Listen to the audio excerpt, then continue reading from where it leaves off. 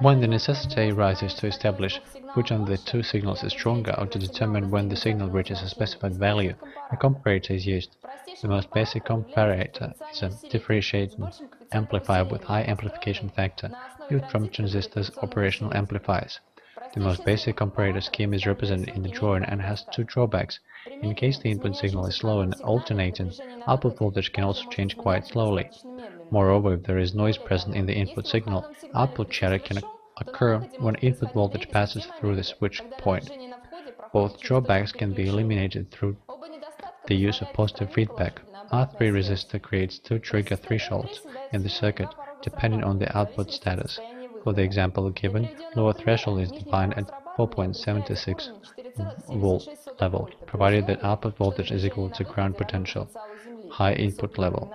When output voltage equals plus 5 volts, the threshold is defined at 5 volts. In this case, the probability of the noise signal causing multiple output switchover is reduced. Apart from this, positive feedback also enables faster output switch over regardless of input fluctuations rate of change. This particular scheme is referred to as the Schmitt trigger.